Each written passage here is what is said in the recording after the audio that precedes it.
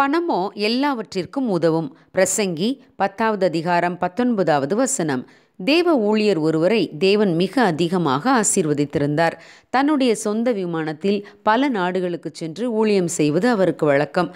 Chicago பட்டணத்தில் தனியார் விமானங்களை நிறுத்தும் விமான நிலையத்தில் அவர் தன்னுடைய விமானம் தரையிறங்கியதும் விமானத்தை விட்டு வெளியே வந்தார். அப்பொழுது அவருடைய விமானத்தின் அருகே இன்னொரு விமானம் வந்து தரையிறங்கியது.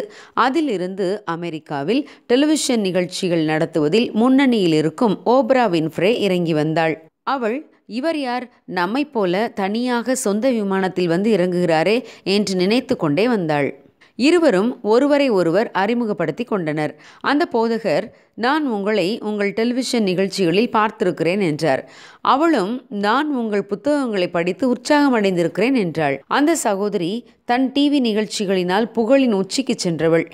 அவளுக்கு இணையாக அந்த போதகரை தேவன் ஆசீர்வதித்து வைத்திருந்தபடியால் தான் அன்று அந்த சகோதரியை சந்திக்கவும் ஜெபிக்கவும் தேவன் ஒரு வாய்ப்பை தந்தார்.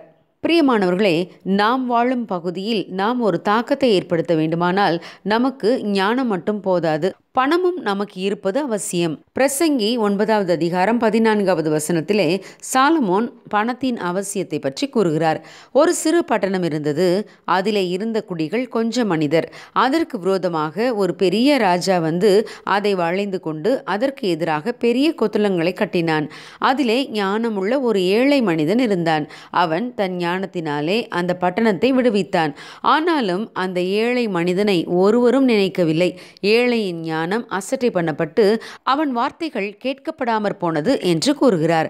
ஆம் பிரியமானவர்களே இவ்வுலகத்தில் தாக்கத்தை ஏற்படுத்த நினைப்பவர்கள் நல்ல அந்தஸ்தில் இருக்க வேண்டும் என்று மக்கள் எதிர்பார்க்கின்றனர். மற்றவர்களை மக்கள் எளிதில் ஏற்றுக்கொள்வதில்லை. அவர்களுடைய தோற்றத்தை பார்த்தவுடன் அலட்சியம் செய்கின்றனர். பிரியமானவர்களே இந்த உலகத்தை கலக்கும்படியாக தேவன் நம் கையில் அவருடைய வார்த்தைகளை தந்திருக்கிறார். நாம் வாழும் பகுதியில் ஒரு தாக்கத்தை ஏற்படுத்த நமக்கு செல்வம் அவசியம் என்றால் தேவன் அதையும் நமக்கு தருவார்.